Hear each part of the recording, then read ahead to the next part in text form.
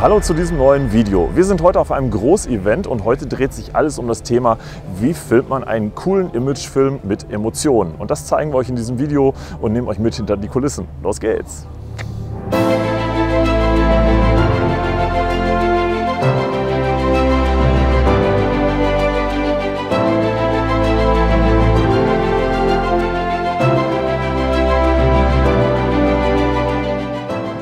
Wir filmen heute einen Imagefilm für den Catering Service Böinghoff und wir wollen einen coolen Imagefilm machen. Nicht nur einfach, wo wir irgendwie ja, relativ emotionslos deren Werken darstellen, weil heute dreht sich alles ums Essen und Essen ist Emotion pur. Das heißt, wir wollen natürlich coole Aufnahmen von dem Essen, was hier serviert wird, zeigen, aber wir wollen euch auch hinter die Kulissen mitnehmen, um zu zeigen, dass da wirklich die Post abgeht und vor allem, dass jeder Mitarbeiter des Unternehmens für seinen Job brennt. Und das ist, glaube ich, doch das, was in einem Imagefilm wichtig ist, dass es herüberkommt, die Leidenschaft bei der Arbeit, ja, wo das Team dabei ist. Und das versuchen wir jetzt mal mit ein paar Szenen einzufangen. Ich bin heute wieder nicht allein unterwegs. Ich habe heute wieder den Anthony dabei, der mich unterstützt und meine Objektive trägt. Hi Anthony. Während hier noch die Vorbereitungen für heute Abend getroffen werden, erklären wir euch mal ein bisschen das Equipment, was wir dabei haben. Wir filmen unter anderem heute mit einer DSLR-Cam. Ich habe hier die Canon 1DX Mark II mit einem Ronin Gimbal. Wir haben aber noch weiteres Equipment dabei. Wir filmen zum Beispiel auch mit dem Smartphone oder der brandneuen DJI Action Osmo. Nein, DJI Osmo Action heißt es. Wir haben die großen Stative heute zu Hause gelassen, denn wir wollen heute mit einem bewegten Bild filmen. Klar, Bewegung ist Emotionen im Film, kennt man aus jedem Kinofilm, butterweiche Kamerafahrten und da eignet sich natürlich der DJI Ronin schon mal perfekt dafür. Um allerdings leichte, smooth Fahrten auch mit einem DJI Ronin S zu filmen, muss man erstmal diverse Grundeinstellungen vornehmen. Wir haben mit einer App, die es hier passend dazu gibt, erstmal das ganze System ein bisschen konfiguriert. Und zwar haben wir alle Einstellungen auf Low bzw. auf 1 runtergesetzt, sodass die Kamerafahrten nicht so hackelig sind und so ja, mechanisch aussehen, sondern wirklich butterweich dann sind. Zunächst machen wir heute ein paar Aufnahmen im Zelt. Noch sind keine Gäste da, das heißt, wir können mal ja, das gigantische Festzelt von innen filmen. Und dazu verwenden wir natürlich ein Weitwinkelobjektiv. Ich habe hier die Canon 1DX Mark II. Ich filme hier mit 4K. Das heißt, ich habe einen Kopffaktor von 1,35 und dementsprechend brauche ich schon ein sehr weitwinkliges Objektiv, damit es noch einigermaßen cool aussieht. Ich habe von Laowa ganz neu das 12 mm Objektiv. Mit einem Faktor von 1,35 sind das dann so 16,2. Ich habe vorher nachgerechnet. Und dementsprechend habe ich noch ja, ein richtig breites Bild dann damit. Ich könnte natürlich jetzt auch statt mit 4K mit 1080 filmen.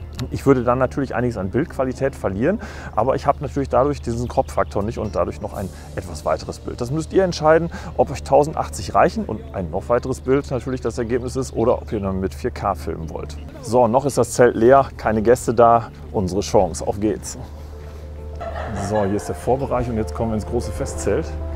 Das ist hier die Veranstaltung, wo heute Abend die Firma Bögenhoff für 500 Leute das Essen servieren darf. Das wird auf jeden Fall eine Action hinter den Kulissen.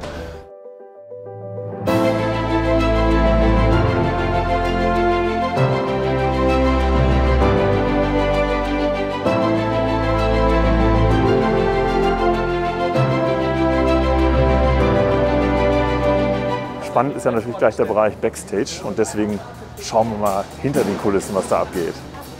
Hier wird noch kräftig geprobt.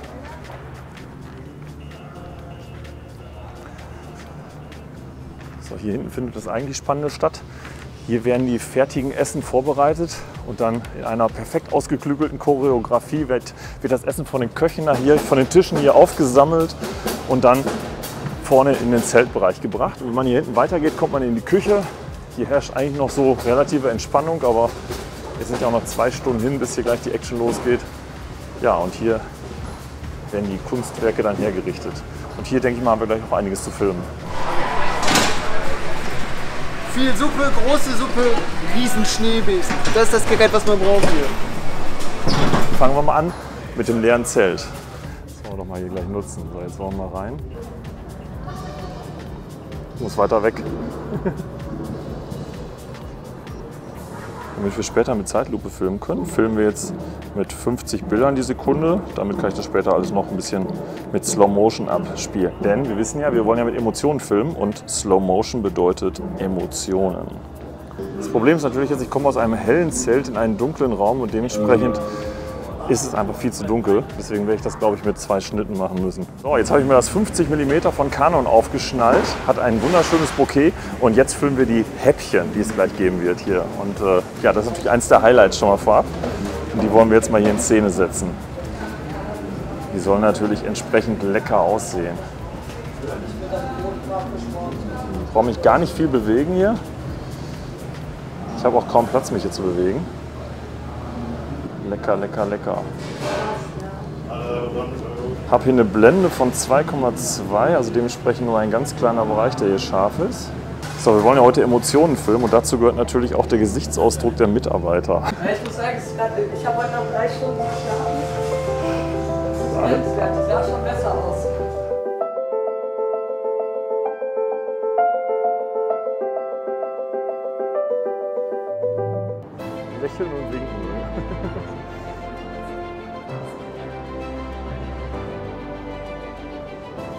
Dürfen natürlich nicht nur lecker essen filmen, wir müssen natürlich auch probieren, wie es schmeckt. Und ich kann nur sagen, super. So, jetzt filme ich mit dem Sigma Art Objektiv. Das Schöne ist, es ist äh, ziemlich weitwinklig, es ist ein Zoom-Objektiv. Und ich habe eine sehr große Lichtstärke, also perfekt. Ich habe den Ronin wieder schnell ausbalanciert und dann kann es auch schon weitergehen.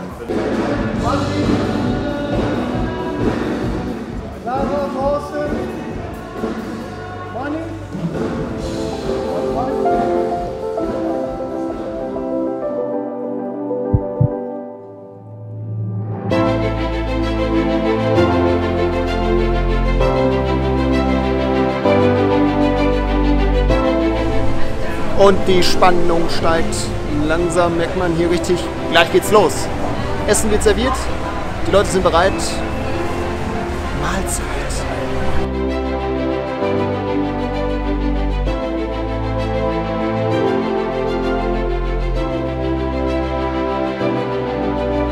Emotionen filmen, deswegen immer nah ran.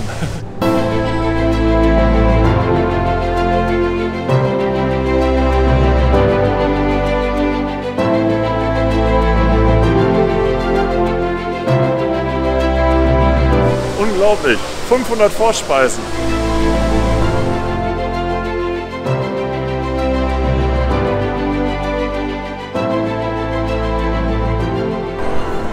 Überleg mal, wie viele hundert Leute im Hintergrund bei so einem Event schuften, damit das rauskommt, was da vorne zu sehen ist. Wir, wir- wir schauen mal einmal kurz um die Ecke, kommt mal mit.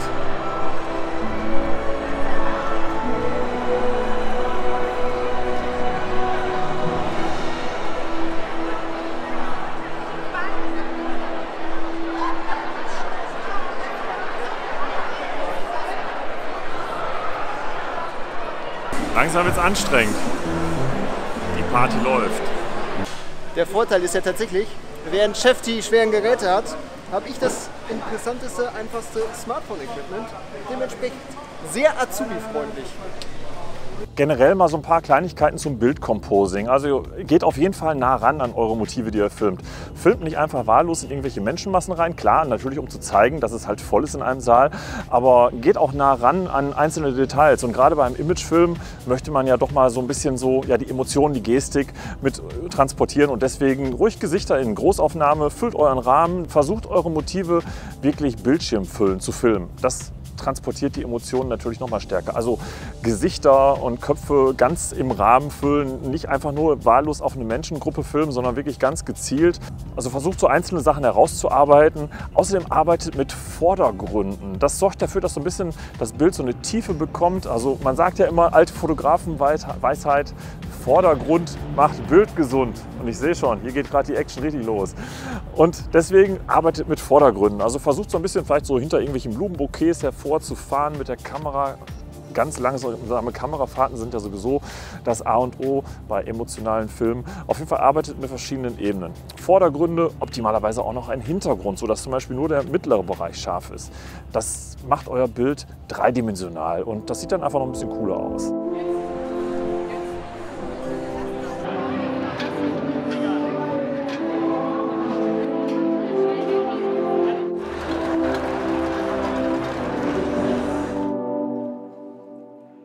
Gerade das mega Gewusel. Wir wissen gar nicht so richtig wohin. Ne? Äh, so, so Wir, wir, stehen, ein- wir stehen immer im Weg irgendwie. Ne? ein sicherer Fleck wäre eigentlich jetzt gerade ganz nett. Was eine Action, ey.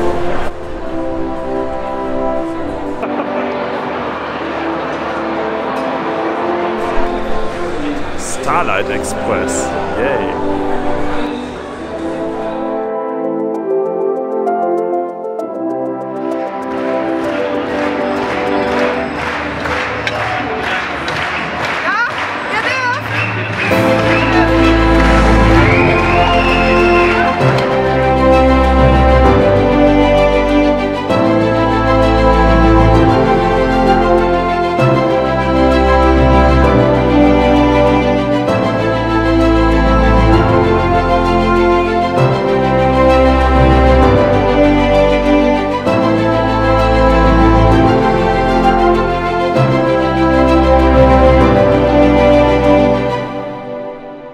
Ja, wir haben schon einige Stunden gefilmt und haben natürlich entsprechend viel Filmmaterial zusammen.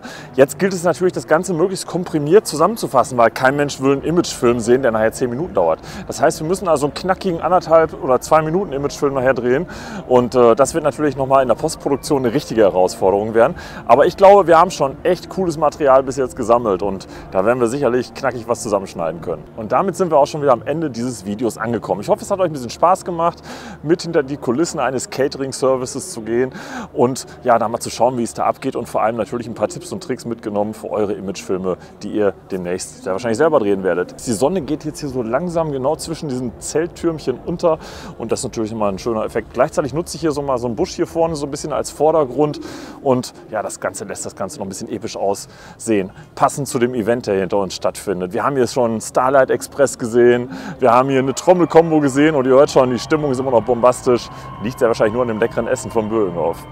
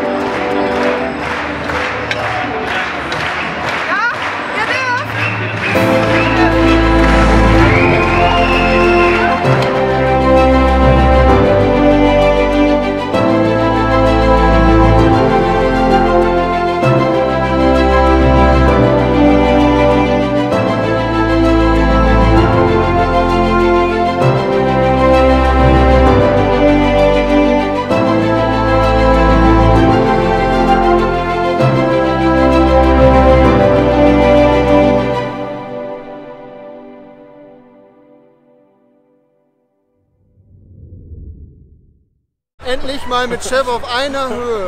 Du bist sogar noch ein Stück größer hier. So aber, schnell geht's. Aber das ist ja nur die halbe Wahrheit, ne? Noch nee! Das muss keiner wissen, das geht Ja. schon. Aber stimmt, so können wir moderieren demnächst. Ne? Sieht Ja. ja. aus, wenn ich auf den Kopf spucken kann. Boah, boah, jemand so einen Kasten Wasser dabei. Dann passt das. Ja! Wie ist die Luft da unten?